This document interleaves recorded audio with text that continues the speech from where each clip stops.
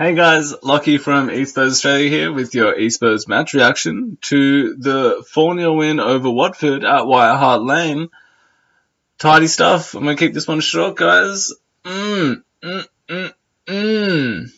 That was um, a bit of a different gravy than the the one we got at Swansea in midweek. I mean, um, obviously everyone sort of expected a win here, uh, apart from the diehard Spurs fans who always sort of expect the worst, me sort of included. I bet on on Watford today just to cover my bases, but I didn't expect it to be so professional, clinical, fun, even. Um,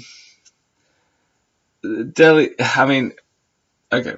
First 30 minutes, finding our feet. Obviously, we were going to be in control. Watford had a bit more confidence than we maybe thought they would. They are a strong team. But, you know, once Dele Alli took the whole world in his hands and, and popped that ball right in the corner like a boss. I mean, for one of the goals of the season, surely I'm so jelly of the people that were behind that goal to just see that ball scoop on into that net there. It was it was ridiculous. It was outstanding. The boy's a genius, and I gushed about him enough on the last video against Swansea to I don't know. It, it, Gareth Gareth Bale-esque. I'm not sure when. It's been two seasons. I'm not sure when this guy became this genius of a player that we can count on to get these extraordinary goals and, and, and provide these extraordinary assists, but he's there and he has been for some time and it's he's just so young and so talented and so brilliant. It's we gotta drink it in while while he's here. Hopefully he's he's here for a very long time, but he does sort of remind you of that Gareth Bale-esque character that's just destined for for greatness. Hopefully, achieves it at, at Spurs. I mean, part of a really good triumvirate with Son and Eriksen. Again, all three of them were superb. Just switching places. Watford had no idea who was going to be where. They're all brilliant assist makers, and um, they can take a shot from outside the box. They can be in the box. They can finish they can do it all. And I feel, um, unfortunately, Vincent Janssen sort of got overshadowed by by that today. Uh, obviously, had that one, well, he had two quite good chances to score. One where he, he did his typical hold up game really well, and he did his hold up game very well throughout the throughout the match. He, he's a good player. Um, unfortunately, he did not have the poise or you know, acuity to sort of that that that I'm talking about the, the the the, obvious chance where Trippier, who had an outstanding game as well, Kieran Trippier, what a boss. Um, you know, he crosses it in. Janssen is pretty much straight on with the crosser. He he can see the trajectory of it coming in. Yeah, there's two defenders in his way, and sure, you can assume that one or both of them are going to get a touch, or that none of them will get a touch. And that's uh, that's what I think he he he lacks that little bit of, you know, he's a young player and he's new to the Premier League. Uh, not sure if the Premier League thing really counts here, but he probably should have been more. He should have anticipated the chance coming to him. It, it shouldn't have bounced off of his knee and onto the post. He should have been a bit more ready. That's what I'm saying. Um, um, you, you could easily go the other way and say, hey, it took a touch off a player just in front of him. He wasn't to know. But I feel like the best strikers and probably Harry Kane would have been ready for that ball coming to him. So I'm sorry. I love Vincent Janssen and I was willing him as much as any other Spurs fan today to, to, to go out and have a great game, but I don't think it was great. It was good. It was acceptable. It, it, he, he is a utility, but it wasn't what we really want from our replacement striker. like I said, he got overshadowed by the brilliance of the other three in our attacking trio. Um, I've already, yeah, Dele Alli's goal. Heung-min Son, um, again, uh, I, this this review. I mean, I should just get the defense out of the way real quick. We defended really well today. All our defenders are really great. You know that. I know it. Vegetable lasagna over here knows it. um, you know, they're great. Good on them. They did really good. Especially Trippier, by the way. Absolutely brilliant. But, uh, getting on to Son. I, for one, uh, just got to put my hand up. He proved me wrong. And I think a lot of other people wrong. Um, uh, a lot of people have been uh, sort of frustrated by his performances when he starts games. Um, obviously, he's a great impact player. He, he he's shown that already.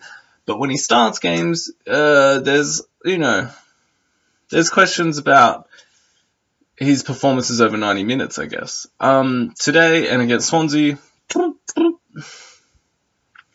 prove me wrong. Hey, I'm wrong there a lot of uh, there's this one guy Harry Charalambous on Twitter. That guy doesn't ever flip and admit he's wrong, and he's wrong all the time. I'm more than happy to admit that I was wrong about Son. Um, you know, he has more than adequately filled in while Harry Kane's been absent. He's been brilliant. And his finishes today were outstanding. The first goal, where a lot of people have been critical of him, of his uh, choices uh, he makes when he's got a lot of time on the ball. He had all the time in the world with that first uh, strike. He he could run, he could pass, he could do whatever he wanted. He knew what he wanted to do, and he kicked it right into the flippin' goal, and was an outstanding finish. His second was expertly taken, a, a beautiful cross from Trippier his positioning, the way he marauded up the lines uh, throughout the entire game. Harry, uh, sorry, Kyle Walker has stiff competition for right wing back in Kieran Trippier, who has beautiful eyes, by the way. His uh, post match interview with Heung-min Son for you know, he's giving him the the man of the match award. Kieran Trippier has beautiful eyes. Check that out. But um, yeah. Anyway, Son's second goal, absolutely incredible, really great stuff. Um, yeah, it was, it was just, it was just good stuff all around, wasn't it? I mean, Dier again, he's he's back in midfield. He his finish his finish was amazing too. He, he managed to get the trajectory just right that it sped up when it came off the the turf. Um, just good stuff. He, he's back in great form back in midfield. Um, I mean, there's not much. There's not much to say about a game like this, uh, apart from that. It's a bit weird to be a Spurs fan and to be so self-assured and so confident. I mean, we're yeah, we're we're chasing Chelsea, and it's probably a foregone conclusion who will win the Premier League this season. But we're playing bloody good football. We're a really great team, and we have no one to fear. We, I mean, we beat Chelsea. We beat them three out of four halves that we played them this season. If we hadn't had so many injuries, or maybe if Chelsea hadn't been so rubbish last season and had to play a bit of game in Europe, maybe they wouldn't be so far ahead. Maybe they wouldn't have gone on that ridiculous winning streak. I mean, we're Spurs, and we're comfortably second, and comfortably the only real team in the country that are chasing Chelsea, and we've played many more games than them, and we've had many more injuries, and we have way less billions of dumb Russian dollars to deal with. So, I mean, it's just, if you're one of those people that are still getting negatives out of these games, if you're like, oh, Sissoko was just chill out. Enjoy a 4-0 victory where Harry Kane came back a million weeks before we expected him to, ran around and kicked a kicked the ball straight into the post from a brilliant free kick and just smiled about it after like hmm, whatever we're gonna, we're probably going to have four players score over 10 goals and maybe three players that score over 20 goals this season. Uh, it's just such a good time to be Spurs. I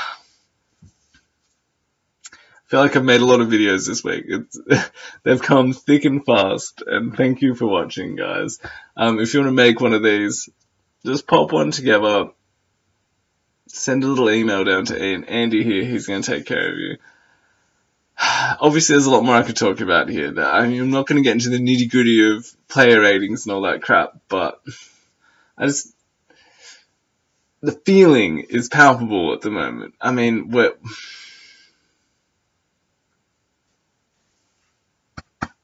Come on, you Spurs. Catch you guys next time. This is Locky from e-Spurs Australia. I'll see you then. Ciao.